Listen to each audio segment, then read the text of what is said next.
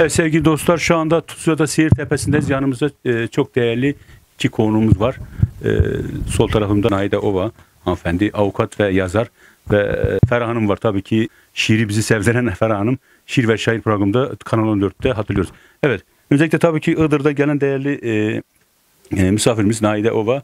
Hoş geldiniz öncelikle Tuzla'mıza. Hoş bulduk. Güzel serin bir havada. E, rakımı da burası yüksek seyir tepesi burası da ayrıca. E, Bugün de böyle bir e, rüzgar da var. Temiz bir hava var. Iğdır'dan farklı olarak. Biz de Evet. çok memnun olduk. Tanıyalım öncelikle sizi Naide Hanım. E, ben Iğdır Barosu'nda kayıtlı olarak avukatlık yapmaktayım. Onun dışında e, şair ve yazarlık da yapıyorum. E, Aynı zamanda Iğdır Barosu'nun e, gazetesini ve dergilerini de 3 sayı dergi çıkardım. Adalet Güneşi olarak e, gazete çıkardık. Bu da bir ilktir e, Türkiye'deki barolar içerisinde. Onun dışında Türkiye genelinde yayınlanan edebiyat dergilerinde e, makale, öykü, şiir e, tarzında yazılarım da yayınlanmaktadır. Aynı zamanda Iğdır'da e, gazeteciler ve medya çalışanları derneğimiz mevcuttur. Derneğin başkan vekiliyim. E, Zaman zaman e, basınla da ilgili çalışmalarımız oluyor. Haber yazıyorum zaman zaman. Onun dışında e, çok iyi bir doğa sever olduğumu Evet. düşünüyorum. Tabii Tuzla'yı sevdiğinizden e, belli oluyor. Çünkü şeyde hani müsait bir alan. Evet. Halk araştırmaları da yapıyorum ben aynı zamanda. Ee, yani böyle tarihi, geleneksel, e, bizim yöremize ait e, bu toplumu yansıtacak e, şeylerle ilgili hem yazı yazıyorum hem araştırma yapıyorum. Onun dışında e, Iğdır mutfak kültürüyle ilgili e, bir araştırma yaptık biz Kültür Müdürlüğü'nde Nihal Hanım'la. E, bizzat sahada çalıştık. E, o konuda bir yazılı kitap yoktu Iğdır'da.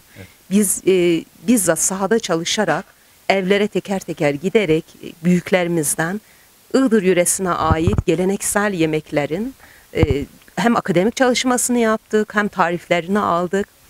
Onlar daha sonra kitaplaştı. Kültür Bakanlığı kitap olarak bastı. Güzel yazılı bir eser kazandırdık.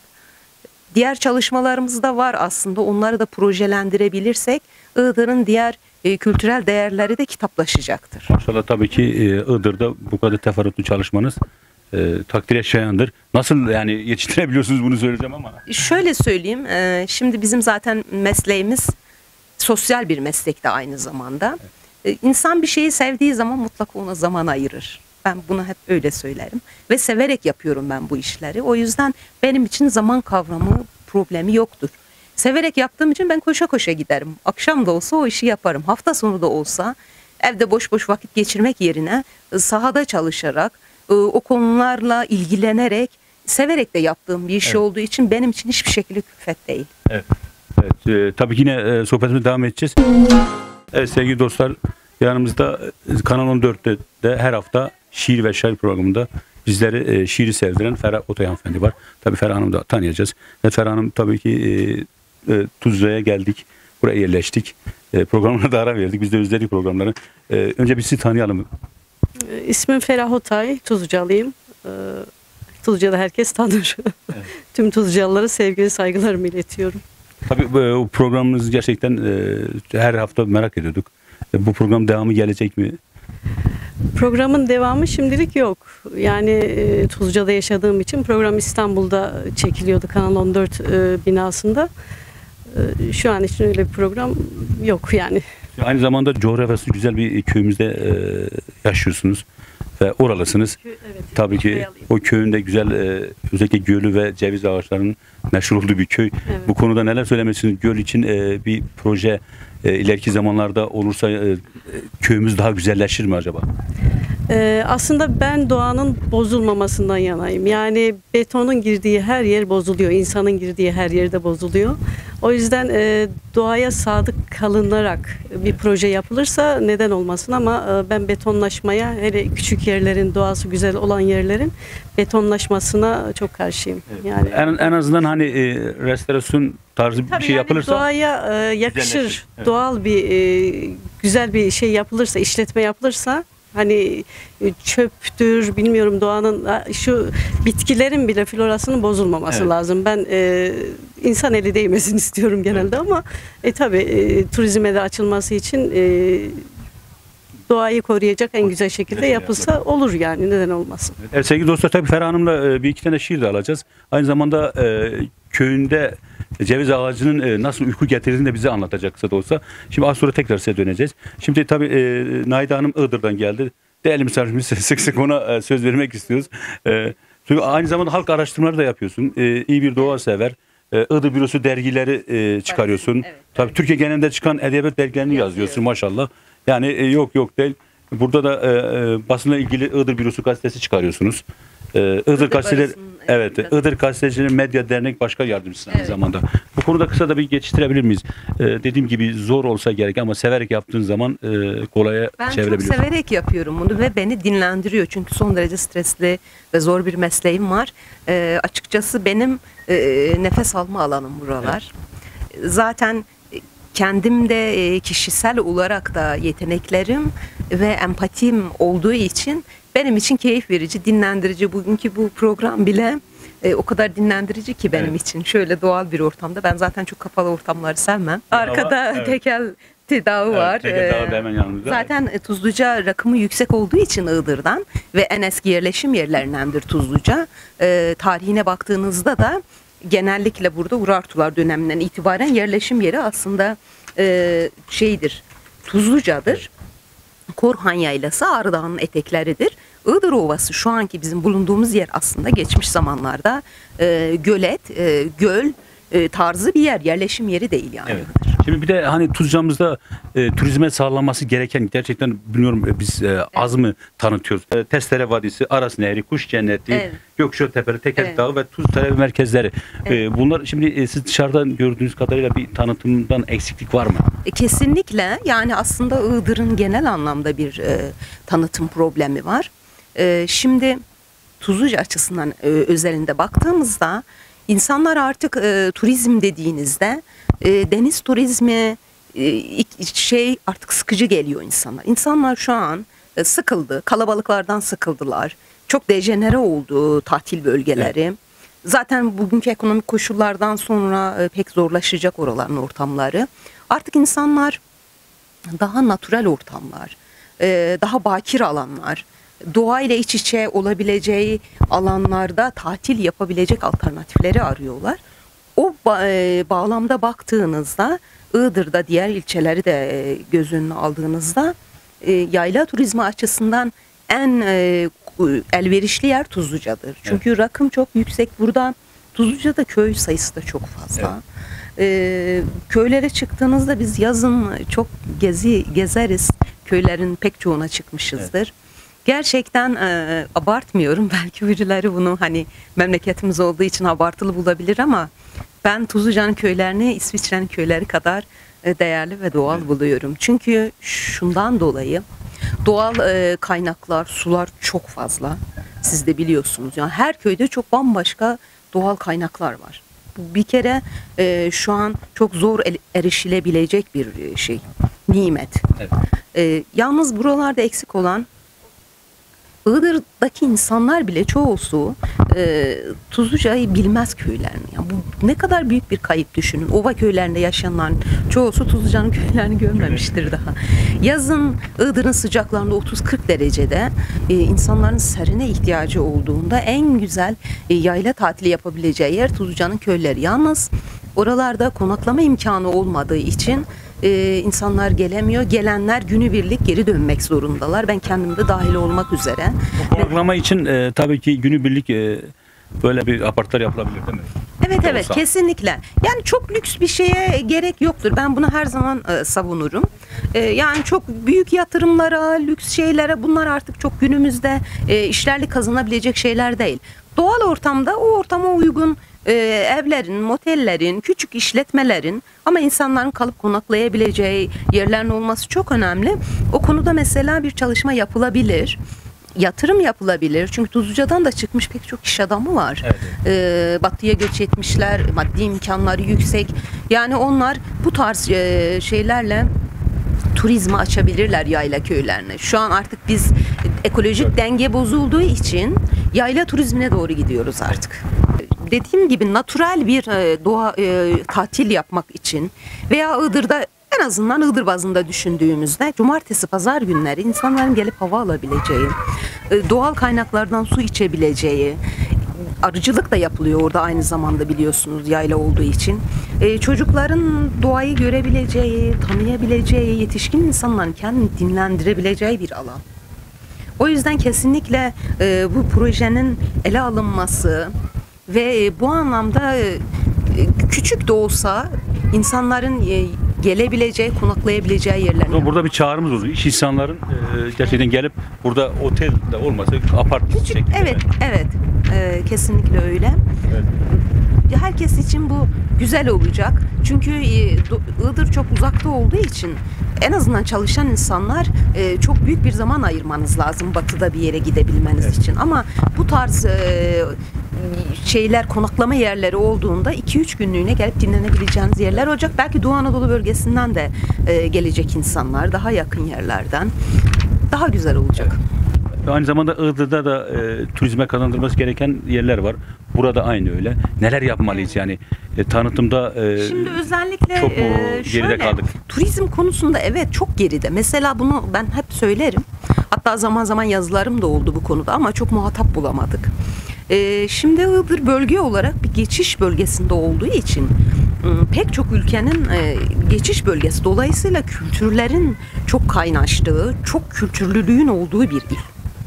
Biz bunu e, olumlu anlamda projelere çevirebildiğimizde tanıtımı daha güzel olacak. Mesela insanlar der ki ya Iğdır'da görülecek bir yer var mı derler. Evet. Aslında çok yanlış bir düşünce.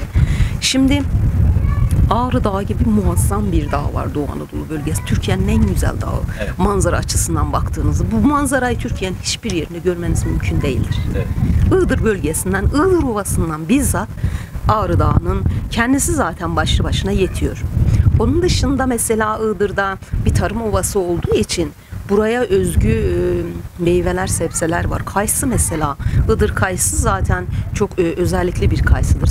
Mesela o kayısıların Son zamanlarda birazcık e, bir video görüntüleriyle çok muhteşem görüntüler olduğu ortaya çıktı da mesela kayısılar çiçek açtığında tepeden çekilen görüntüler var muhteşem beyaz çiçekler. Sonbahar gerçekten ben Türkiye'de pek çok yerde böyle bir manzaranın olduğunu olabileceğini düşünmüyorum. Pek görmedim yani. Ben kendim de sonbaharda çok e, kayısı bahçelerinde gezinti yaparım. Yapraklar döküldüğünde muhteşem derecede fotoğraf sanatı açısından insanı dinlendirebilecek görüntüler çıkıyor. Mesela turizme bu kazandırılabilir. Ee, gelen insanlar mesela o sonbahar görüntüleri o mevsime ait bunu gezebilirler. Çok güzel bir şey. Ee, dediğim gibi fotoğraf sanatı açısından kareler yakalanabilecek, insanları dinlendirebilecek bir şey. Onun haricinde Balıklı gö- e, Göl var biliyorsunuz. Evet. Yani büyük bir kısmı Ağrı Dağı'nda olsa da buradaki köyden bize Tuzlu'dan daha yakın sanki tabii. Yani insanlar der ki göl yok derler Evet. Iğdır'da. Ben katılmıyorum. Ee, Ben mesela Balık Göl'ün fotoğraflarını paylaştığımda insanlar batıda bir e, tatil beldesi Tatil zannetmişlerdi. Tekneler falan vardı içinde. Ee, Çoğu insanın haberi yok. Çok yüksekte bir göldür orası. Evet. Türkiye'deki çok ender bulunan göllerden birisi. Çok doğal bir göl, bakir kalmış bir göl. Balıkları da bayağı E, Balıkları lezzetli. zaten o kızıl alabalık denen bir balık türü var. O e, sağlık açısından çok önemlidir. E, pek çok yerde de bulunabilecek bir balık türü değildir o. Mesela o o göl bile kendisi e, turizm açısından kesinlikle görülmeye değer bir yer. Ama ne var? Orada da aynı problem var. Bir yeşillendirme problemi var orada. Ağaç yok yeterince. Orada hani siz söylediğiniz gibi orada da bir günübirlik kalmak için Evet, yerler yapılmış ama kesinlikle. giden oluyor ama rağbet nasıl Kalınabilse keşke. Yani düşünebiliyor musun? O gölün manzarası muhteşem bir şey. Evet.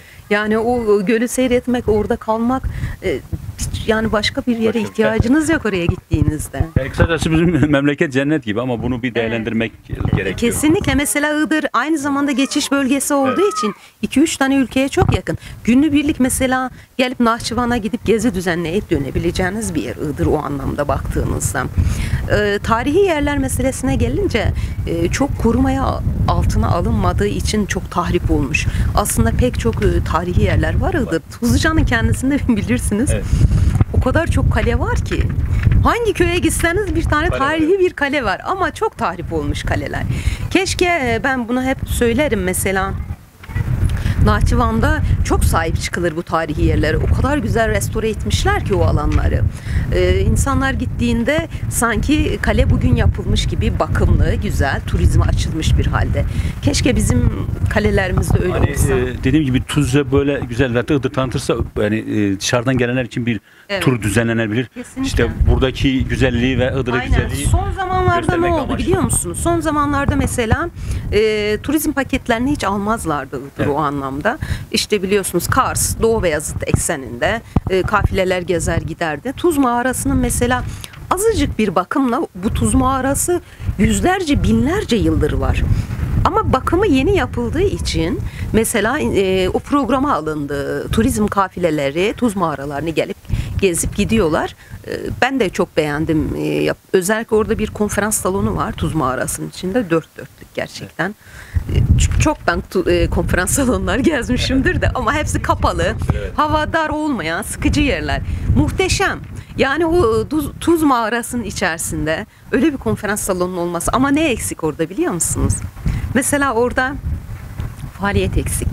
Keşke daha çok böyle kültürel faaliyetler olsa, bir takım sempozyumlar, toplantılar o doğal ortamın içerisinde yapılabilse dört dörtlük olur. Yani orada da bir e, insan kaynakları, bir proje eksikliği, böyle bir dağınıklık var. Ondan kaynaklanan bir şey, e, e, eksiklik var. Onların giderilmesi lazım. Ama yine de epeyce bir ziyaretçisi var. Bayağı bir ziyaretçi sayısı var. E, şimdi burada Tuzluca açısından eksik olan şey, mesela buranın e, ben yetkili birimleri kaymakam veya belediye başkanının yerinde olsaydım buranın mesela bir kültür evi eksik. İnsanlar dışarıdan geldi merak ediyor bu şehri bu şehrin kültürünü. Mağarayı gezdi işte doğayı gezdi vesaire. Ee, bir kültürünü de tanımak ister. Yani bu kültürü yansıtacak bir kültür evi yok. Bunun daha önceden e, giden valiyle e, bir yazı yazmıştım ben o kültür evinin eksikliğiyle ilgili. O da e, cevap yazmıştı bana. İlgileneceğiz demişti pandemi döneminden sonra. E, gitmek durumunda kaldı vali. Rafa kalktı dolayısıyla. Mesela Iğdır'da öyle. Şimdi bizim dışarıdan misafirlerimiz geldiğinde e, biz onları götürebileceğimiz, kültürümüzü tanıtabileceğimiz bir kültür evi yok. Halbuki burası ne kadar önemli bir yer. Yani Kafkas kültürü var burada, daha farklı kültürler var. Yani o kadar çok iç içe geçmiş ki. Ama bunların e, şeyleri yok. Bu kültürü görebileceğiniz fiziksel bir ortam yok. E, hatta ben o konuda bayağı bir, e, bir hayali bir yazımda bir hayali bir kültür evi kurmuştum. Orada anlatmıştım. İnsanlar da gerçek sanmıştı o kültür evini. Sonunda zaten hayali olduğu anlaşılmıştı. E, Şimdi tabii ki e, güzel şeyler anlattınız. Bu kitaplara da değineceğiz. Şimdi Ferah Hanım'a sözü bırakacağız. Evet Ferah Hanım e, tabii ki e, şiirlerimiz hazır. Size güzel iki tane şiir alacağız. Şimdi öncelikle e, Üçkaya Köyü gerçekten o da e, cennet var bir köyümüz. Özellikle aşağıda akan su e, bunu değerli dostlarımız çok zaman anlattı. Ve e, bir de ceviz ağacı. E, bir ceviz ağacı var e, altına gittiği zaman uykun geliyor. E, bu neden oluyor? Sizden öğrenebilir miyiz? Evet çocukken hep e, köye giderdik yazın. Büyük koca ceviz ağaçları uykumuz gelirdi. Ben e, hiç araştırmadım. Bir ara Orhan Aras abimle sohbet Evet, ederken evet. o bahsetti. Dedi onun da annesinin köyü ekerek Üçkaya. E, Dedi e, ben çok uykum gelirdi dedi orada. Sonra dedi bir duydum araştırdım sülfür gazı salgılıyormuş Evet. ceviz ağaçları. O da insanlarda e, uykuya sebep oluyormuş. E, O yüzden o zaman öğrenmiş oldum. Tabii Orhan Bey de burada selam olsun. Evet e, şimdi e, tabii ki Tuzca'mızın doğası güzel. E, Naide Hanım dediği gibi. E, siz neler söylemek istersiniz tabii ki. E, Tuzla'mızda daha güzel şeyler e, olması için, tanıtım yapması için biraz Nahide geri mi kalıyoruz? benim içimdeki her şeylerden bahsetti. Kültürel, e, sosyal anlamda çok eksik. Evet. Yani dediği gibi bir kültür merkezine ihtiyacımız var. Buradaki gençlerin ayda bir de olsa bir sinema izleme Evet, hakkı sinema. var. E, bir e, amatör tiyatro grubu oluşturabiliriz. Evet. Tabii seyir tepesindeyiz ama e, rüzgara da yakalandık. E, yağmur da her an yağabilir. Evet, E, biz programımıza devam ediyoruz. Evet. E, yani Tuzca'mız e, aşırı betonlaşmaktan kaçıp bol ağaçlandırılmalı. E, gençler ve kadınlar için sosyal kültürel e, faaliyetler yapılmalı, kurumlar olmalı. Yani eksikliklerimiz çok umarım. E, tabii ki hemen e, bize ne şiirler hazırladınız? İlk şiirim memleket isterim. Onu okuyayım ben. Rüzgar uçurmasa tabii bizi. Memleket isterim. Gök mavi, dal yeşil, tarla sarı olsun. Kuşların, çiçeklerin diyarı olsun. Memleket isterim. Ne başta dert, ne gönülde hasret olsun. Kardeş kavgasına bir nihayet olsun. Memleket isterim. Ne zengin fakir, ne sen ben farkı olsun. Kış günü herkesin evi barkı olsun. Memleket isterim, yaşamak sevmek gibi gönülden olsun. Olursa bir şikayet ölümden olsun. E, Ağzına yüreğine sağlık. Biri e, bir anda bizi Kanal 14 ekranlarına götürdünüz. Evet, e, sohbetimiz devam ediyor sevgili dostlar. Seyir Tepesi'ndeyiz. Aşırı bir rüzgar e, olsa da programımıza engel değil. Tabii ki yanımızda bir çiçek de var. Tabii ki kuş cenneti olarak Tuzca'mızda e, o da on görülen gerçekten e, sık sık ziyarete gelinen bir yer. Ve son zamanda bir e, yangın çıktı orada. Son akıbet nedir? Bu konu hakkında neler söylemek istersin? Şimdi orası aynı zamanda Cıyrıklı Kış Kuş Gözlem Merkezi. Cıyrıklı köyünde Evet. burada biliyorsunuz. Ee, orası aynı zamanda bir bilimsel araştırma ortamı da.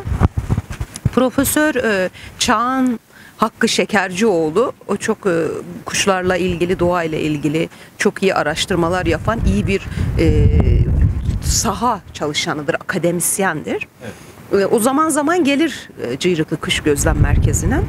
Orada e, kuşlara Türkiye genelinde 500 çeşit kuşun yaşadığı işte tahmin ediliyor ve o 500 kuşun e, 250'ye yakınının Cıyrıklı'daki bu kuş merkezinde Iğdır'da Aras Havzası'nda olduğu e, bilimsel olarak söylenir. Onlara çipler takılır. Göç bölgesi olduğu için gelip burada dinleniyorlar o sazlıklarda, Aras Havzası'nda. Sıcak bölgelere doğru gidiyorlar. Ee, bu anlamda Türkiye'de bu kadar zengin bir kuş çeşitliliği olan başka bir yer daha yok. O kadar önemli ki bu çok yani akademik anlamda, turizm anlamında fakat bunu çok da e, bi- bilinmiyor. Çağan Hoca sağ olsun bu konuda bize Iğdır'ımıza bir de kitap kazandırdı. Bu çalışmalarını kitaplaştırdılar o güzel kuşlarımızı. Hepsinin çok farklı farklı akademik isimleri, özellikleri vesaire var. Yalnız sazlıkta dediğiniz gibi onların çünkü barınak alanları, yuvaları sazlıklardır. Evet. Orada yangın çıktığı için o kuşların bir kısmı dağıldı, bir problem oluştu onunla ilgili. Ee, yani bu çok detaylı bir konu olduğu için bu konudaki yetkili ehil insanların e, derinlemesine araştırma yapması, önlem alması, yani yangının neden çıktığı, bir daha çıkmaması için nasıl bir e, tedbir alınması gerektiğinde iyi bir çalışma yapılması lazım. Çünkü ekolojik denge doğanın bize e, çok gereklidir. O kuşların bile bir dengesi vardır. E, burada bölgede e, Türkiye açısından göç ettikleri diğer yerler açısından e, çok sıkı çalışılması gereken bir konu. Tabii ki Tuzca'mız dediğiniz gibi e, bir başka cennetvari yeri. Orada gerçekten sahip çıkmak lazım. Aynı zamanda tabii ki bir hamamın eksikliğini de buna görebiliriz. Nostalji hamamlarımız var işte orta mahallede. Yol üzerinde Ferah arkadaşımız gösterdi. Ben fark etmemiştim, geçtim. E, e, tarihi bir hamam ama o kadar çok yıpranmış ki neredeyse artık ayakta kalamıyor. Gerçekten çok üzücü. Biz e, tarihi eserlerimize sahip çıkamadık. E, perişan bir halde, yıkılmak üzere. Oranın güzel bir restorasyonla e, gele- e, turizme kazandırılması mümkündür. E, bu an aslında birazcık son yıllarda sadece Tuzluca veya Iğdır açısından değil de Türkiye'de de sanki böyle bu bilimsel çalışmalar, e, bu kültürel faaliyetler çok geriledi gibi. çok üzücü bu durum. Biz şeyle e, 2012 yılında Profesör Oktay Belli hocamız vardı. O pek çok e, konferanslar düzenliyordu. Uluslararasıydı o konferansları. Onlardan birisini Tuzluca'da düzenlemişlerdi. Dördüncü Uluslararası e, Geleneksel Mutfak Kültürü Sempozyumu düzenlendi. O sempozyumda çok güzel bilgiler vardı. Ben de katılımcı olarak katıldım. Iğdır yöresinin e, hamur işleriyle ilgili bir bildiri sunmuştum e, o sempozyumda. Çok değerli bilim adamları, akademisyenler gelmişti. İl dışından, Nahçıvan'dan vesaireden. Çok donanımlı, bizim gerçekten akademik anlamda, bilimsel anlamda çalışma yapabileceğimiz ihtiyacımız olan sunumlar yapıldı, kitaplaştırıldı. Sonra e, bir şekilde bitti bu olaylarda. Son yıllarda yani hiçbir şekilde bir e, akademik çalışma yok. Çok üzücü bir durum. Sık sık yapılmayınca her olaylar E, böyle. şöyle sık sık yapılabilmesi için şimdi e, bu konuda birilerinin öncü olması Evet. lazım. Şimdi hocalarımız çok Türkiye'de yetişmiş çok değerli hocalarımız var, akademisyenlerimiz var. E, fakat onlar için bir ortam, bir program hazırlanması lazım ki onlar da gelebilsin, e, o bilimsel çalışmayı yapabilsin, halka ulaşabilsin, insanlar katılım sağlayabilsin. Bu- Bunlar rafa kalktı. Yani biz e, çok yavan bir toplum olduk artık. Hiçbir kültürel değere önem vermeyen, akademik çalışmaları artık rafa kaldırmış, e, önemsemeyen bir toplum haline geldik ki bu çok tehlikeli bir gidişattır. Bu yani insanlığın bence artık çok e, kötüleşeceği bir ortam, bir durum. Düşünebiliyor musunuz? Bir araştırma yapılmayan bir e, ortamda, bir ülkede, bir şehirde neler olur? Bizim bilme ihtiyacımız var. Ama bu bilimi kaynaştırmamız için önem vermemiz lazım. İnsanları davet etmemiz lazım. Bu çalışmalar için zemin hazırlamamız lazım. E, ben en çok da buna üzülüyorum. Belki Tuzluca'da da Iğdır'da da çok daha güzel akademik çalışmalar yapılabilir. Daha bilimsel verilerle gidebiliriz. Mesela Tuz Mağarası'nın kendisi hastaneye çevrilebilirse e, Nahçıvan'da öyle e, aynı zamanda da hastanedir Tuz Mağarası. E, orada insanlar astım hastaları özellikle tedavi amaçlı kalıyorlar. E, ona da ihtiyaç var. Yapılırsa çok güzel olacak. Girişimler var ama e, o hastane bölümünde tam herhalde e, yapılmamış. Bu da ileriki zamanlarda sanki yapılacak. Yani he- her şey nedir biliyor musunuz? Yani bizim artık böyle e, bu saçma sapan, ortalıkta böyle hiçbir anlam taşımayan, e, paraların gereksiz yerlere harcandığı şeyler kesip gerçek olan kaynakları doğru yerlere e, kullanmamız lazım. Bunu kullanmaya başladığımızda e, kendi fabrika ayarlarımıza geri döneceğiz. Yani bir bakıyorsunuz ki bir şey yapılmış, çok yüksek meblağlarda para harcanmış, hiçbir değeri, sanatsal değeri yok. Ee, doğa anlamında bir değeri yok, kültürel bir manası yok. Bu- Bunu bir an önce e, bir durdurup o kaynakları doğru yerlere bizim ulaştırmamız lazım ki daha yaşanılabilir bir dünya, daha yaşanılabilir bir Türkiye, daha yaşanılabilir bir Iğdır olsun. Sevgili dostlar sohbetimiz devam ediyor. Dediğimiz gibi rüzgarlı bir havada olsa e, hiçbir şey engel değildir sohbetimize. Evet Ferah Hanım tabii ki e, Heydar Baba.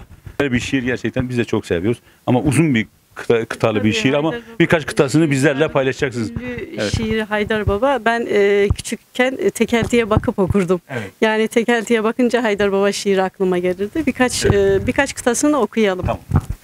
Haydar Baba ildirimler şakanda Seller sular şakkıldayıp akanda Kızlar ona sef bağlayıp bakanda Selam olsun şöfketize, elize Benim de bir adım gelsin dilize. Heydar Baba gün dalını dağlasın Üzün gülsün, bulakların ağlasın. Uşakların bir deste gül bağlasın. Yel gelende ver getirsin bu yana. Belki benim yatmış bəxtim o yana. Heydər baba yolum senden keç oldu. Ömrüm keçti gelemedim geç oldu. Hiç bilmedim gözellerin nece oldu. Bilmez idim döngeler var, dönüm var. İtkinlik var, ayrılık var, ölüm var. Heydər baba, şeytan bizi azdırıp muhabbeti yüreklerden gazdırıp Kara günün ser nuviştin yazdırıp Salıp halkı birbirinin canına Barışığı beleştirip kanına Çok teşekkür ederim. Ağzına yüreğine sağlık. Gerçekten güzel e, bir şiir. Tabii ki uzun versiyonu güzel, bir çok şiir ama anlamlı, her evet. kıtası bir ders veren bir şiir. Umarım bizim de e, barış, huzur, mutluluk daim olur. Ülkemiz kalkınır. Güzel, doğusu da güzel olur, kalkınır. Ağzına yüreğine sağlık. Evet sevgili dostlar sohbetimiz devam ediyor. Artık son bölüme geldik. E, tabii ki son rötuşları da alacağız ve hepinize e, el sallayarak veda edeceğiz. Evet son neler söylemek istersiniz? Ee, Tuzluca'nın endemik bitki örtüsü yapısıyla ilgili de birkaç bir şey söylemek isterim. Ee, burada aynı kuş çeşitliliği gibi çiçek çeşitliliği de çok e, fazla. Evet. Yani yüzlerce çiçek çeşidi var. Akademik anlamda Ernest Hanım bu anlamda epeyce bir araştırmalar, bilimsel araştırmalar yapmıştı. Ee, herhalde daha da devam ediyor araştırmaları. Bu çiçekler çok önemli. Bunlar doğanın dengesi açısından önemli. Burada arıcılık e, yapıldığı için onlar için çok önemli. E, ben eminim ki e, bu konuda der, derinlemesine araştırmalar yapıldığında e, çok daha güzel, orijinal bilgiler çıkacaktır. Bu bölgede zaten e, bu çiçek çeşitliliğine genel olarak verilen bir anlam vardır. Nuh'un çiçekleri denir. Biliyorsunuz bizim bir Nuh efsanemiz vardır Ağrı Dağı'yla. E, ve o e, efsaneyle bütünleşecek şekilde e, güzel bir isim de bulunmuş çiçeklerimize. E, ekolojik dengenin bir parçası olan e, çiçeklerimiz.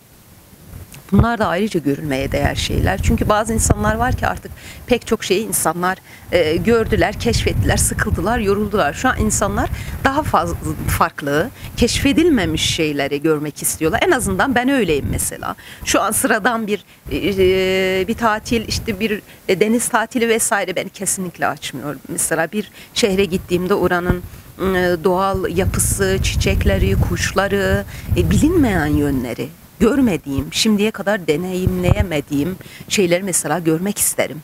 E, pek çok insanın da ben böyle düşündüğünü e, tahmin edebiliyorum. Ama bu konuda da e, çalışma, tanıtım çok yetersiz. E, mesela bu konuda bir kaymakamlık, Aralık Kaymakamı bir dönem Nuhun Çiçekler diye bir e, kitap hazırlamıştı. Mesela orada bile muhteşemdi bu çiçeklerin görüntüleri. Bu konuda şey Bilgehanova doğa sanatçısı, fotoğraf sanatçısı o çok Değerli başkanımıza selam e, olsun. çok araştırmalar yaptı, çiçeklerin fotoğraflarını çekti. Yani o çiçekleri siz o kadrajlarda gördüğünüzde, aa bunlar var mı? Bu çiçekler gerçek mi? Bunlar Iğdır'da mı? Evet. Yani biz bu şekilde tepkiler aldık. Halbuki hepsi bu yöreye ait Bu olan yöreye şey. ait, evet. Biz e, sahip olduğumuz hazinelerin değerini bilmiyoruz. Bütün problemimiz orada. E, son zamanlarda e, çalışmalar olsa da çok yetersiz. Çünkü o insanlar da beslenemiyor. İnsan kaynaklarını doğru kullanamıyoruz. Bilgehan Hoca yine şey projesi başlattı yenilerde. Evet. E, Hazreti Fatıma Fedek Bağları Çok ses getirmeye başladı. Evet ne kadar güzel bir şey. Neyi anlatmaya çalıştı? Köylere ağaç dikmeye başladılar. Aslında çok sıradan gibi görünse de o kadar önemli bir husus ki. Çünkü bizler ata mirasını yok ettik. Bizim büyüklerimiz Iğdır'a baktığınızda Iğdır çok yeşil bir alan. Ağaçlara baktılar. Yani ölecekleri güne kadar o ağaçlar evlatları gibi benimsediler. Ağaçlandırdılar. Her yeri ağaçlandırdılar. Ama onlardan sonraki kuşakta bu ağaçları kesmek, yok etmek, talan etmek, bir e, doğayı yok ettik yani. Şu an Yeşil Iğdır'ın e, dediğimiz yerde merkezde artık ağaç bulamıyorsunuz. Tek bir ağaç yok. Ne kadar büyük bir kayıp. Bizim yeniden e, yeni gençlere, e, yeni yetişecek çocuklara bu ağaç bilincini yeniden oluşturmamız lazım. Yani bu konuda yetkililerden de rica ediyoruz. Buna çok eğilmeleri gerekir. Çünkü doğa yok olduğunda biz de yok olacağız. Evet. Koruyacağız. Elimizde bir tane ağaç da olsa dikeceğiz. Bak Karadenizleri ben bu konuda çok takdir ederim. Gerçekten çok güzel bir yeşil alanları var. Çok iyi değerlendiriyorlar. Biz neden öyle olmayalım? Bizim babalarımız, dedelerimiz öyleydi. Buraları bize öyle emanet ettiler onlar yeşillendirerek. Ee, aynı zamanda burada bir kitap daha görüyoruz. Ee, tarih yönlerle Tuzca. Ziya Zekir hocam değil mi? Hı, Ziya hocam da bir kitabı bir vardı. e, gösterelim. Ziya hocama da burada selam olsun.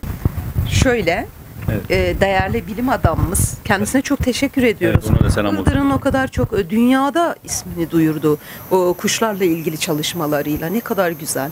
Evet. Biz gurur duyuyoruz. O bizim fahri hemşerimiz Çağmurca. Onun gibi hocalarımız olsa keşke. Yeni çalışmalar yapılsa, ekip ruhu oluşsa. e, biz e, kendi dediğim gibi fabrika ayarlarımıza geri dönebilsek. Bizim bilimsel araştırmalara, kültürel dokunumuza çok ihtiyacımız var. Şimdi Iğdır'da e, ha, şu çiçeklerimizi gösterelim. Demin topladım bu çiçeklerimizi. Evet. Şurada hemen oturduğumuz yerden. Yani şimdi biz Tuzluca'nın köylerine çıksak binlerce bu çok farklı çiçek çeşitleriyle karşılaşacağız. Evet. Yani bu güzelliği siz hiçbir yerde kokusu da çok güzel bulamazsınız. Şimdi bunun mutlaka bir bilimsel adı vardır. Evet. Bu papatyaların. Bu papatyalardan da onlarca çeşit vardır. Bunlar biliyorsunuz e, tıpta da çok kullanılıyor. Evet.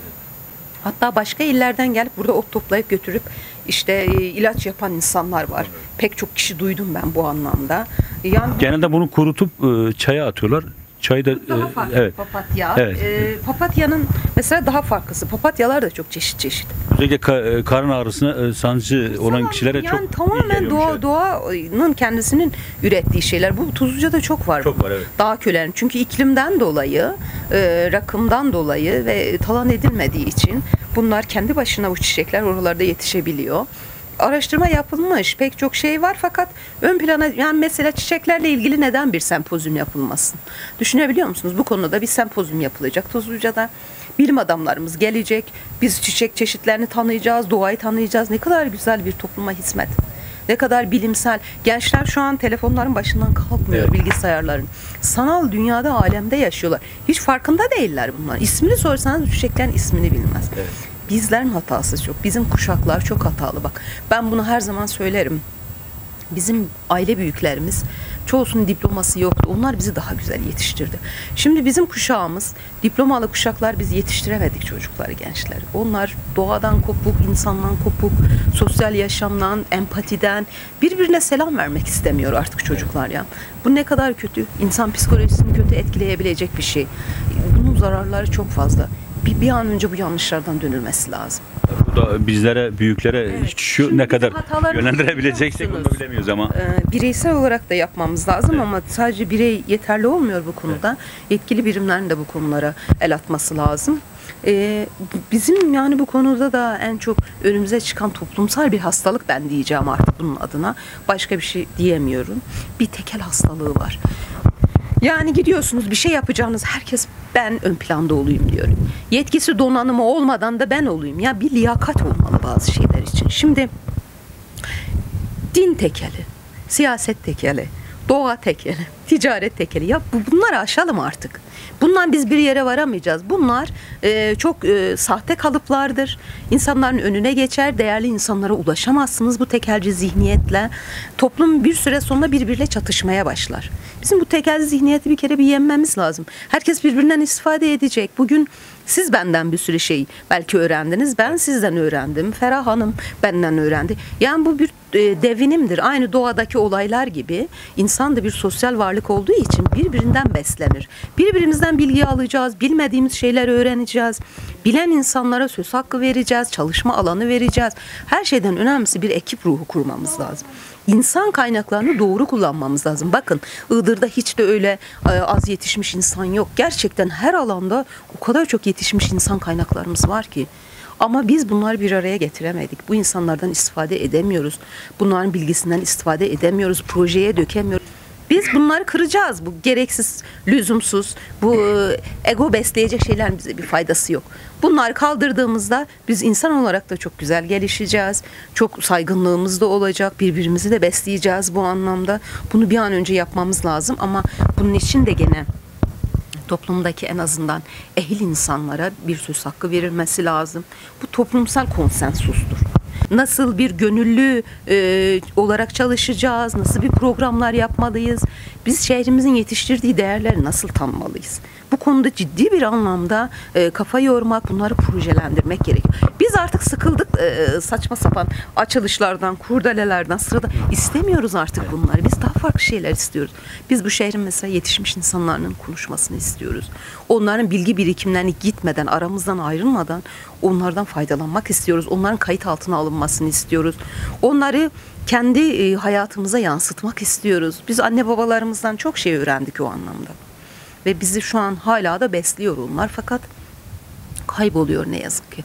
O kuşaklar e, aramızdan ayrıldıkça biz büyük bir kültürel mirası da aynı zamanda kaybediyoruz.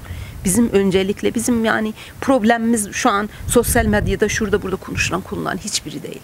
Emin olun bir toplum kendi altyapısını oluşturduğunda, kültürel değerlerine sahip çıktığında, bilim adamlarına sahip çıktığında, yetiştirdiği insanlara sahip çıktığında o toplum her anlamda gelişir. Ekonomide gelişir, sağlıkta gelişir.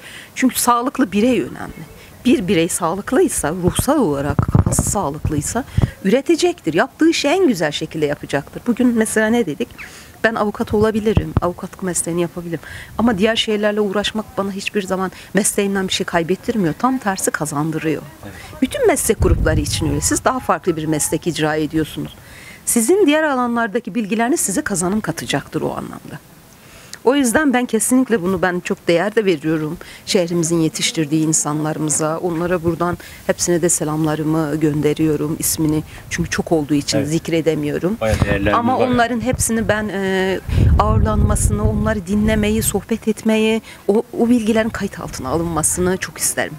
Çok teşekkür ederim. Gerçekten güzel bir sohbet Biz oldu. de size çok teşekkür Buyurun. ederiz Kemal Bey. Ne ederim kadar efendim. güzel bir program yaptınız. Ederim Mesela hmm, belki böyle bir düşünce aklınıza gelmese cumartesini daha farklı bir şekilde geçirecektik Evet. biz. Siz de düşündünüz. Bizi davet ettiniz. Sağ olun. Bizi ağırladınız. Böyle Davete icabet ettiğiniz için Ferhan Hanım'la Tam bir birlikte. seyirlik çok bir teşekkür ederim. program oldu. Biz size çok teşekkür Tabii ediyoruz. böyle programlar e, devam edecektir tabii ki.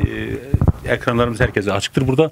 Evet. Kimseye e, yanlı yönlü haber de yapmıyoruz. Kesinlikle. Siz Buradan da buradan nasılsınız? belirtmek Siz istiyorum. tarafsız olacaksınız. Evet. Siz getireceksiniz. Kimse kimseye darılmayacak, küsmeyecek. Niye o konuştu diye ben konuştum. Ee, potansiyeli olan konuşmak Evet, isteyen herkes tabii. konuşacak. Mikrofon serbest. Bak Evet, ne dediniz. Sizin şurada. ses- sizin sesiniz. Sizin sesiniz. Herkesin sesi. Gelin konuşun. Çok teşekkür ederim. Ben- Ağzınıza yüreğinize sağlık. Güzel birikimler e, bizlerle paylaştığınız için inşallah YouTube kanalımızda, Tuzla TV YouTube kanalımızda. Herkese ben teşekkür ediyorum. Programlarda Evet, inşallah, inşallah. yine bir araya Evet. geleceğim. Tabii ki programımızda sonuna gelince Ferah Hanım e, da burada son olarak neler söylemek istiyorsunuz ve e, var mı repertuarda bir şiir daha? Şiir e, son olarak işte toprağımız çok güzel. Evet. Buralar yani cennet gibi bir vatanımız var. Betonlaşmaktan ziyade ağaçlandıralım. Evet. E, çevre bilincini gençlere yerleştirelim. Çöplerimizi atmayalım sağa sola. Yani cebimize koyup evimize atabiliriz Evet. en basiti. E, Aşık Veysel'in son dörtlüğüyle bitirmek isterim. Havaya bakarsam hava alırım. Toprağa bakarsam dua alırım. Topraktan ayrılsam nerede kalırım? Benim sadık yarim kara topraktır. Çok teşekkür ederim. Ağzınıza yüreğinize sağlık. Naide Ova hanımefendi ve Ferah Otay hanımefendi. Evet, evet teşekkür ederiz. Ee, geldiğiniz için, e, röportaj isteğimizi geri çevirmediğiniz için ve bu ekranları renklendireceğiniz için çok teşekkür ederim. YouTube kanalımızda bu yayınlanacak sevgili dostlar. Ee, buradan hepinize e, teşekkür ederiz. Ee, her iki hanımefendi de burada şükranlarımı sunarak veda etmek istiyoruz.